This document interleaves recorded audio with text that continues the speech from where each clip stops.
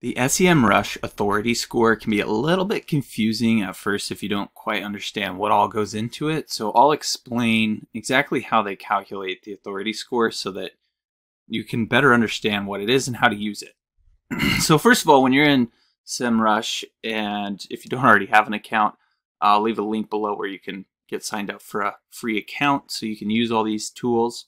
Uh, but once you're in your account, you'll be able to, you know, there's different ways to add, but basically from the domain overview, you'll be able to add in a domain of your choice, whether it be your domain or the domain of another company. For this example, we'll just use eBay. Uh, but once you put a domain in here, it's going to give you the domain's authority score.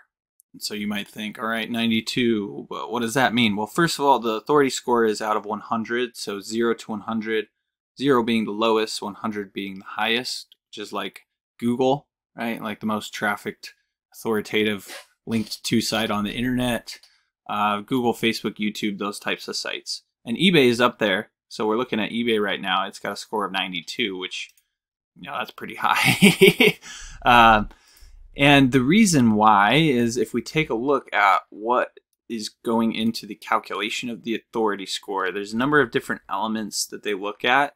So first of all, they use machine learning algorithms to go scan the internet and find the most trustworthy domains on the internet.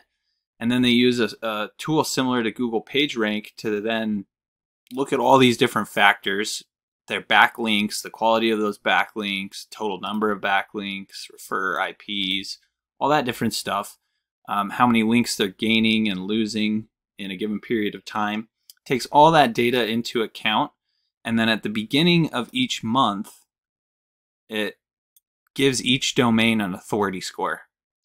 And it's all relative to the other domains in the same range of authority score. So it's not like domain authority and page authority are pretty well known in uh, digital marketing and SEO.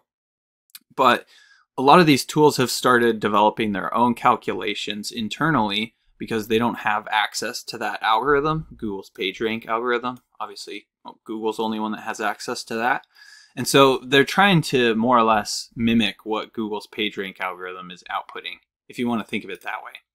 So when you go and look at the authority score, you'll be able to see uh, what it looks like. Like if you're trying to get backlinks from a website with an authority score of zero or one or two, then that means when you get a backlink from that site, it's not really going to help you out much because it's not passing any authority onto your website.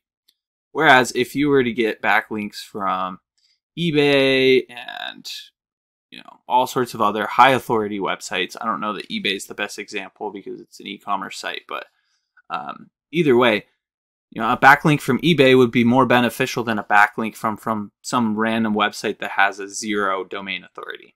So that's a summation of how authority score works in SEMrush. If there's anything you did have questions about, don't hesitate to reach out. You can just drop your questions in the comment section below, and I'll be sure to get back to them there.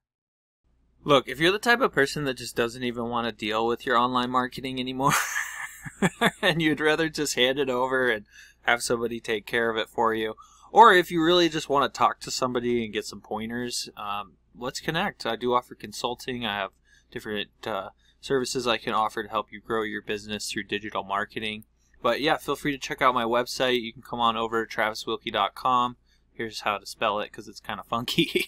uh, but you can come check out some case studies, see the results I've been able to get for my clients over the years. And uh, if you're interested, we can connect. I'd love to help you out. If you can't tell, I love helping business owners grow, especially when it comes to digital marketing. So, all right, I'll talk to you soon. Take care.